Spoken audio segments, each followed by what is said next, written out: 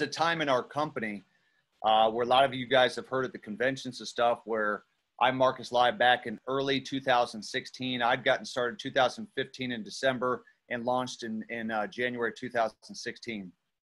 We started going up the ranks. We're absolutely crushing it. And there was a time where there was a major setback in our company. I'm not going to go through all the details, but let me tell you, one of the people that stayed the course through all of that was Mr. Christopher Derrick. Uh, we were down in Vegas together. We had breakfast together.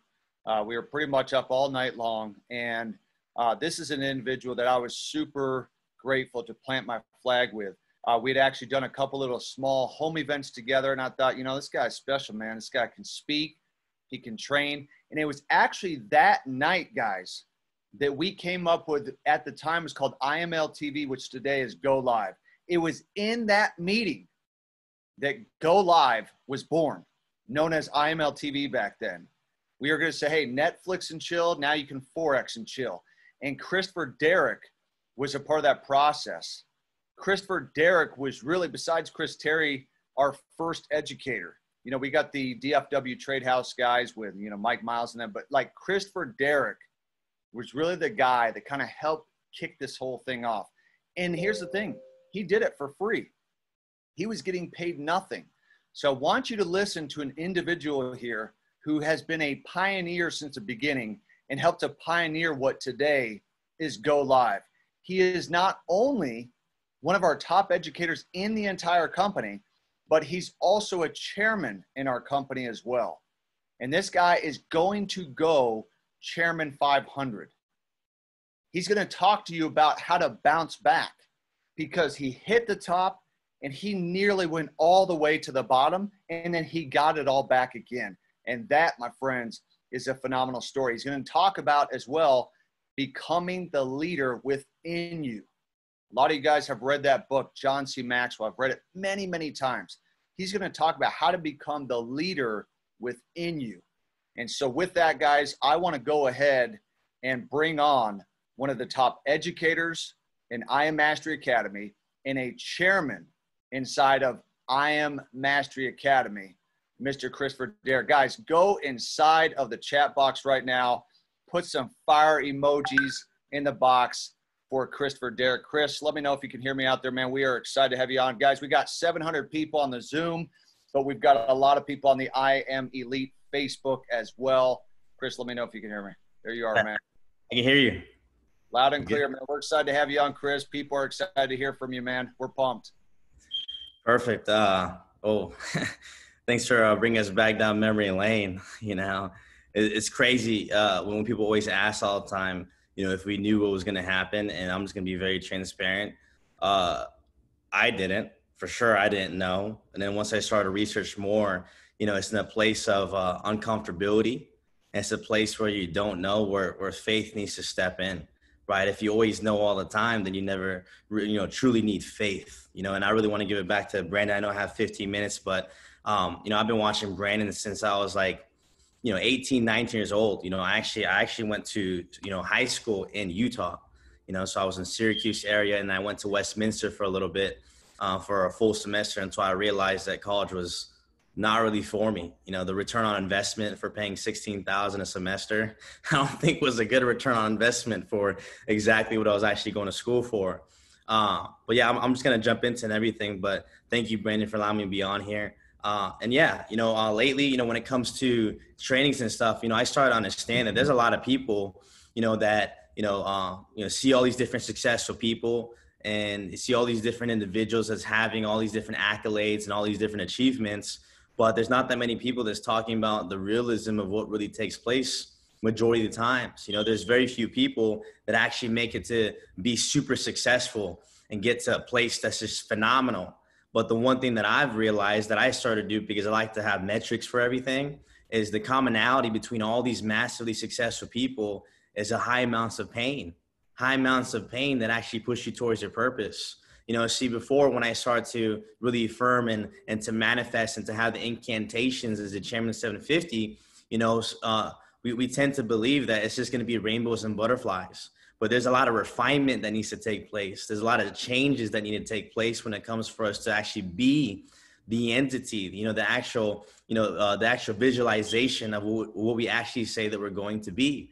You know, I didn't understand that. You know, I didn't understand and I, like that. If I affirm something, if I manifest something, that in order for me to be that individual, God has to create trials and tribulations that's gonna, you know, push me right? That's going to push me to actually fix certain things within my life, right? Who here could experience this? Who here has experienced this before? See, when we start to think to ourselves that all these things that start to happen to us, the moment that we decide to go 100% all in, the moment that we decide that network marketing is for us, the moment that we decide that trading currencies, digital currencies, high frequency, e-commerce is for us, who here has realized that all these crazy things start to take place? That, uh, that it was a lot easier to be ignorant. It was a lot easier to be like everybody else, right? And the reason why we start to have this conviction deep down inside of ourselves is because we start to operate at a different frequency. We start to operate at a frequency that is elite. You know, if, if, if, there's Bob, you know, if there's Bob Proctor mentees in here, we understand there's a frequency that's here and there's a frequency of what we say that we want you know so we have to understand that this is all part of the process. You know if anybody's been going through a season right now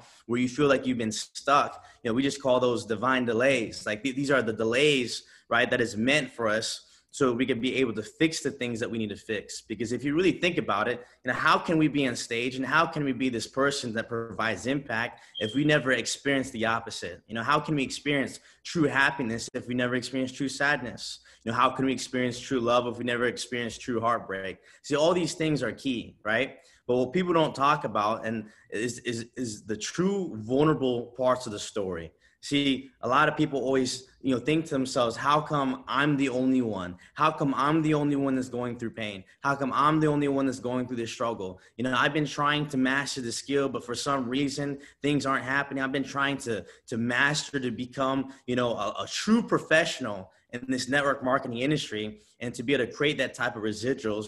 If you know chairman 750 i just just do the research on, on the weekly thing. Just do just do the research. If, if that's not enough for you to keep going 100% all in i don't know what is. I don't care if it took me five to ten years to get to that you know place.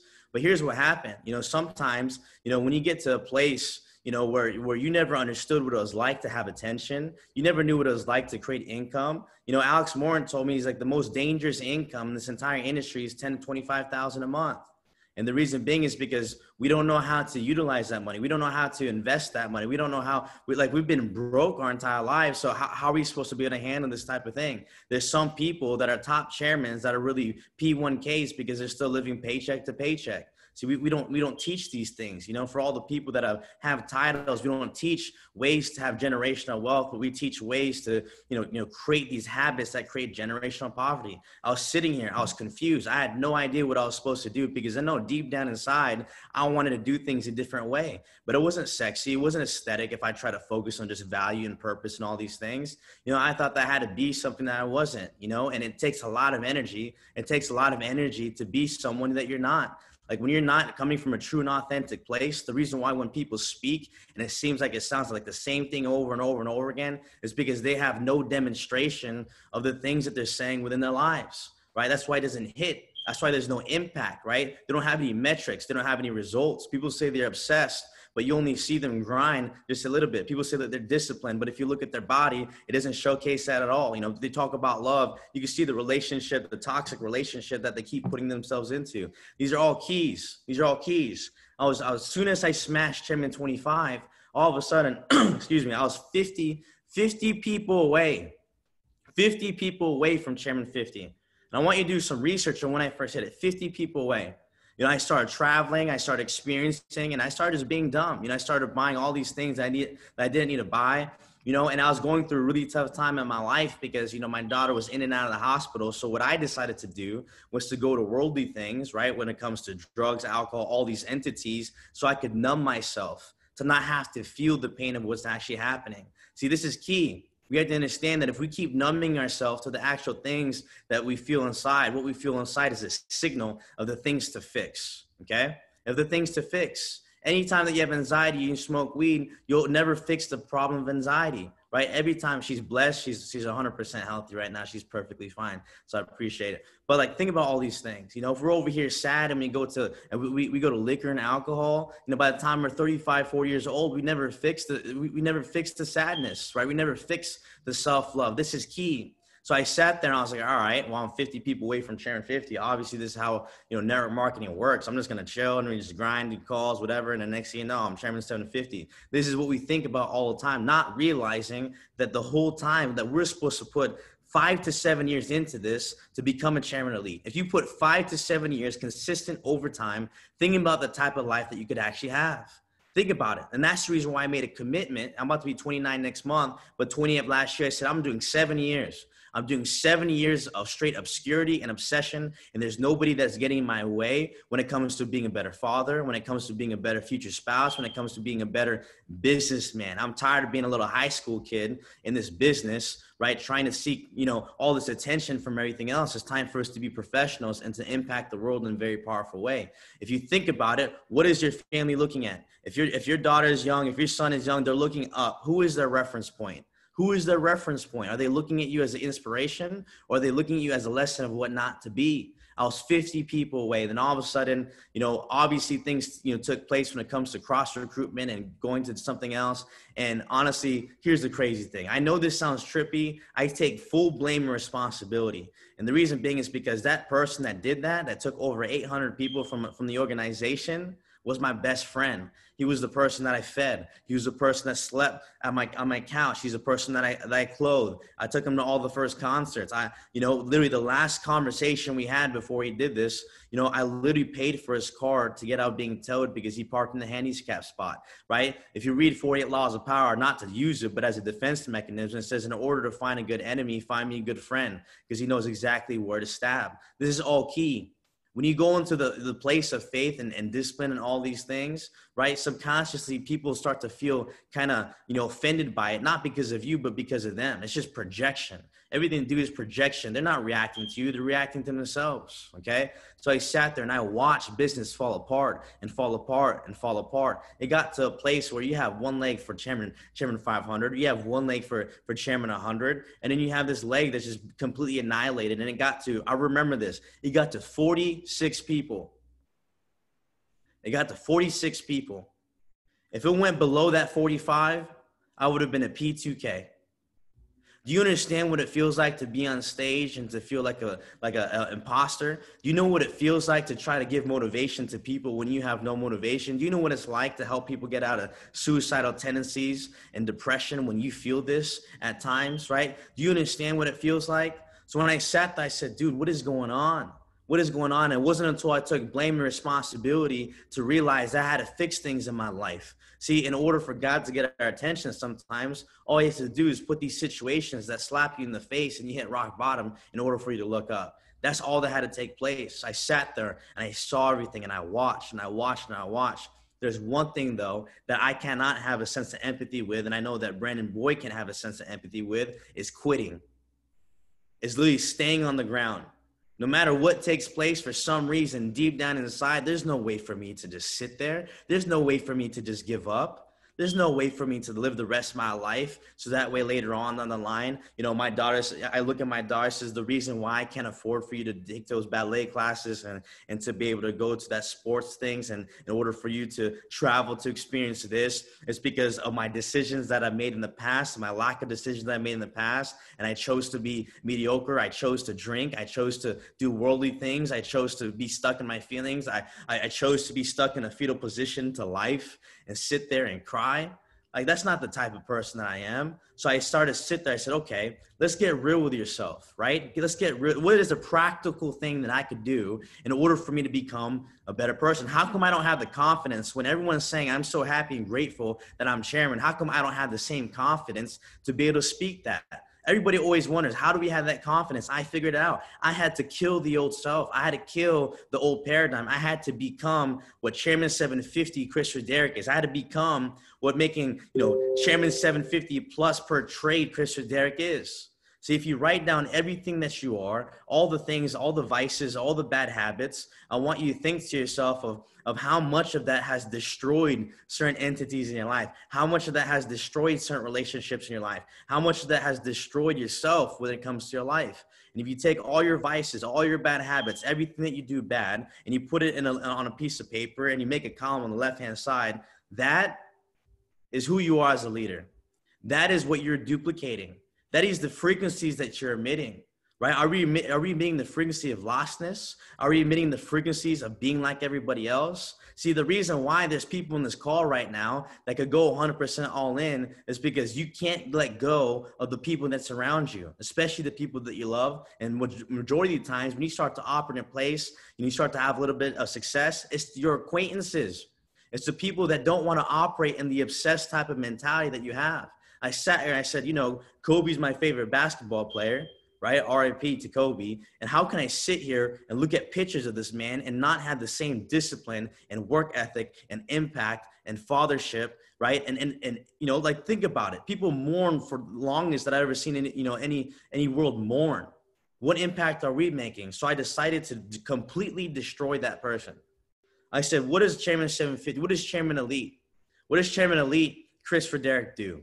Does he hang out with those people? No, he doesn't. Does he does he spend time with these people? Yes, he does. Right? Does he focus on his spirituality? Does he focus, you know, every single day? You know, I've never read the Bible before, but now reading it an hour every single day before bed has completely changed my life.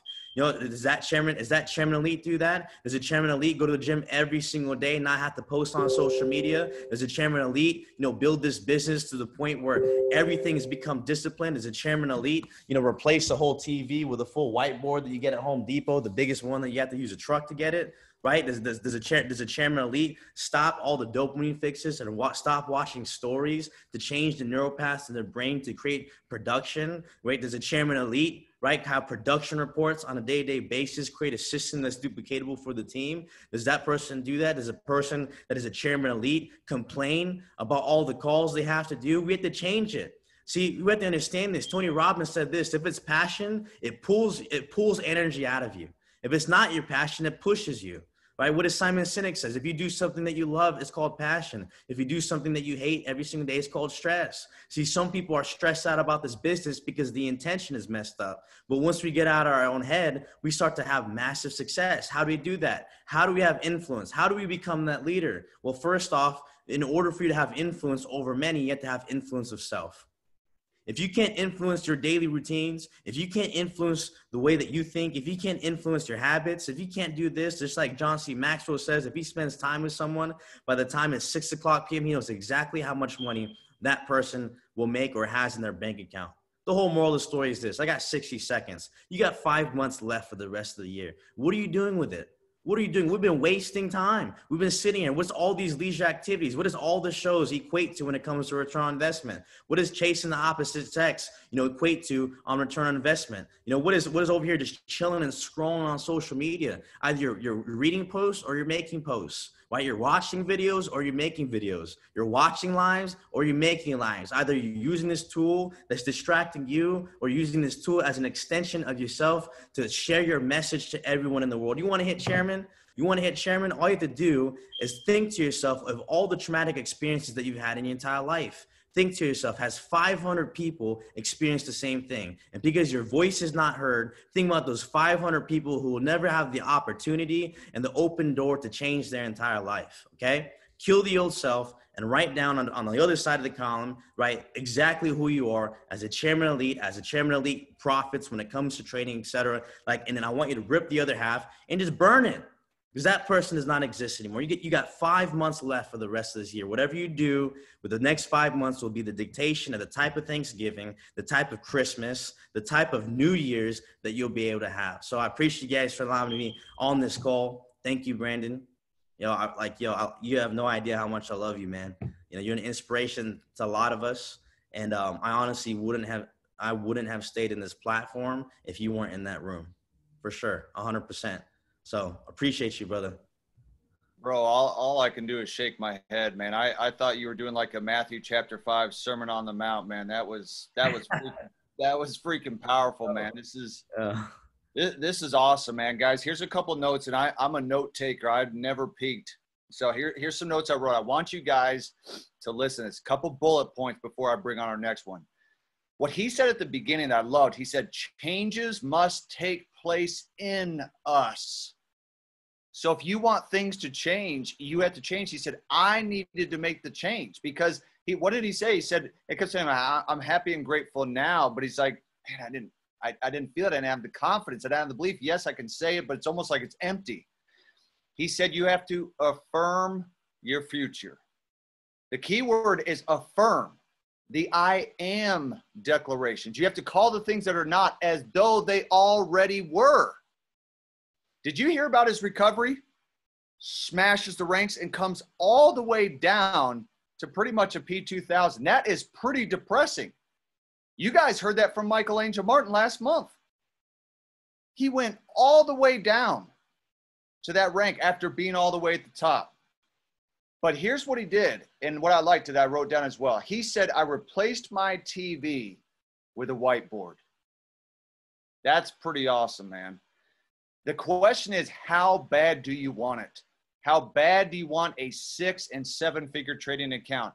How bad do you want the opportunity to spend more time with your kids? Chris wanted to spend more time. He wanted to be there for his daughter's birthday, right? How badly do you want more time freedom? Are you willing on the business side to take a lot of no's in order to get those results? To take all the no's to get what we got yesterday in our e wallets with payday? Yes, certainly. I would do it all over again, especially last week with those uh, with those uh, override residuals, man. That was uh, that was beautiful. So, uh, Chris, thank you, man. I mean, Chris is one of the pioneers of our company.